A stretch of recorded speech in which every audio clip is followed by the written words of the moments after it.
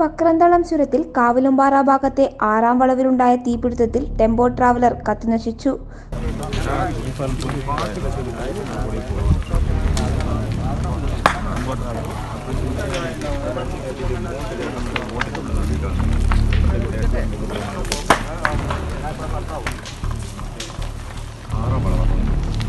എട്ടാം വളവ്. എട്ടാം വളവ്. ആറാം വളവ്. ഇല്ല ആളെല്ലാം ഇറങ്ങി.